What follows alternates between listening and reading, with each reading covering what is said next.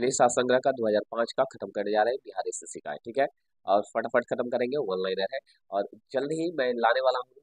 बोला था मैंने, प्लेटफॉर्म का सात संग्रह और खान सर का सात संग्रह। और भी बहुत सारे जो बुक है, जितने भी प्रकाशन के साथ संग्रह सब आने वाले हैं। थोड़े से गलत ठीक हो जाए तो जल्द और आने वाले हैं। और वो भी मैं पीडीएफ बनाकर खुद तैयार करके लाऊँगा, लेकिन बुक वही रहेगा। ठीक है? तो चलिएगा, पहला क्वेश्चन से शुरू करते हैं। लोकसभा की सदस्यता के लिए एक उम्मीदवार की उम्मीदवार जो होते हैं कि न्यूनतम कितनी आयु होनी चाहिए तो 25 वर्ष होना चाहिए। लोकसभा के लिए 25 वर्ष, राज्यसभा के लिए 30 वर्ष होनी चाहिए। आगे नेक्स्ट क्वेश्चन की अगर बात करें, वायुमंडल में किस मंडल में ओजोन परत मिलता है? तो समताप मंडल में ओजोन परत मिलता है। नेक्स्ट क्वेश्चन है, भारत में हरित क्रांति ने सर्वाधिक किससे प्रभावित किया? तो गेहूँ की फ़सलों को प्रभावित किया था, याद रखेगा। नेक्स्ट क्वेश्चन है, देश में ऑपरेशन फ्लड की शुरुआत किसने की? तो डॉक्टर वर्सिल वर्सिल कुकर्नी का नाम आता है कु, कुरियन का नाम आता है। सॉरी कुकर्नी नहीं, कुरियन। वर्सिल कुरियन का नाम आता है, याद रखिएगा। ऑपरेशन फ्लड के नाम पे।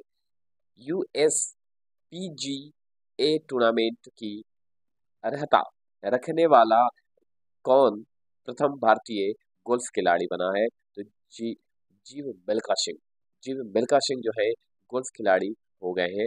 याद रखिएगा, प्रथम भारतीय का।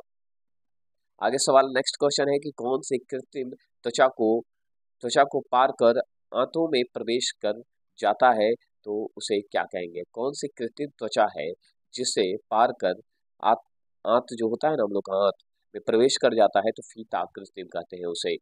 नेक्स्ट क्वेश्चन की अगर बात करें तो जल में जैव रासायनिक ऑक्सीजन भाग हुई अधिकतम मात्रा कितनी होनी चाहिए? तो तीन मिग्रा लीटर होनी चाहिए। नेक्स्ट क्वेश्चन की बात करें, एक सामान्य वयस्क पुरुष में कितने हीमोग्लोबिन होते हैं? चौदह ग्राम हीमोग्लोबिन बटा सौ ग्राम खून होते हैं। आगे नेक्स्ट क्वेश्चन की बात करें, आहार नाल सामान्यता किसका बड़ा होता है? तो मांसाहारी योग का होता है, याद रखेगा आगे सवाल आप देख सकते हैं, गाय में दूध का पीला रंग जो है किसकी उपस्थिति के कारण होता है? तो कैरोटीन के कारण होता है, ये भी ध्यान रखना है। बीजों को अच्छी तरह परिचित कहाँ रखा जा सकता है तो ठंडे और शुष्क अवस्था में रखा जा सकता है। समझ गए? हारमोन क्यों उपयोगी है? उपाचयी प्रक्रिया हेतु बहुत ही उपयोगी है। एस आई पद्धति में तापक्रम का मात्रक क्या है? तो केल्विन होता है, केल्विन याद रखिएगा। नेक्स्ट क्वेश्चन की बात करते हैं हम लोग तो एक एम यू जिसका शॉर्ट फॉर्म में मतलब ब्रैकेट में दिया हुआ है, परमाणिक द्रमानिकाएँ ठीक है?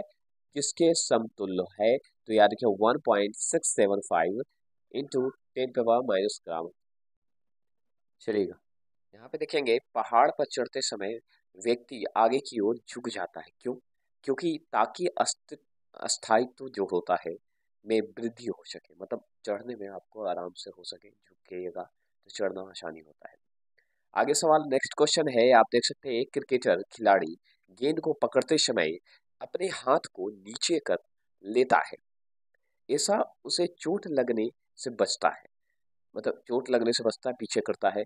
तो यह कौन सा सिद्धांत है? तो संवेग के संरक्षण का सिद्धांत माना जाता है। ठीक है? आप समझ सकते हैं। आगे देखते हैं क्वेश्चन कि एक हवाई जहाज़ के पंखे पर बह रही हवा की चाल में वृद्धि होती है। तो पंखे का दाव क्या होगा? तो याद किया कम हो जाएगा, हमेशा याद रखेंगे। तीन प्राथमिक रंग कौन कौन है? तो नीला, हरा और लाल होते हैं। आगे चलेंगे। नेक्स्ट क्वेश्चन है कि हीरा बहुत कठोर है, जबकि ग्रेफाइट कैसा होता है? तो बहुत नरम होता है। ये हमेशा ध्यान रखिएगा। निर्जलीकरण में कौन वस्तु थोड़ा कम हो जाता है? तो सोडियम क्लोराइड हो जाता है। याद रखिएगा। आगे नेक्स्ट क्वेश्चन है कि एक वयस्क के शरीर में रक्त की मात्रा कितनी होती है? तो याद रखिए, चार से पाँच लीटर होता है। नेक्स्ट क्वेश्चन है कि पादप में क्या होता है जो पशुओं में नहीं होता तो सेलुलोस नहीं होता है, याद रखेगा बेग, त्वरण व तय की गई दूरी में संबंध जो है, क्या है? तो माइनस वी टू बराबर यू टू यू स्क्वायर है, याद रखेंगे प्लस टू ए एस होगा, याद रखेगा नेक्स्ट क्वेश्चन की बात करें, प्रकाश किस रूप में व्यवहार करता है? कण के रूप में अथवा तरंग के रूप में? तो तरंग के रूप में करेगा, याद रखिएगा। नेक्स्ट क्वेश्चन है कि ज़ीरो डिग्री सेल्सियस तापमान, याद रखेंगे, तापमान की एक किग्रा, बर्फ़ टेन डिग्री सेल्सियस पर एक किग्रा जो होता है, यहाँ पे ध्यान से सुनना है।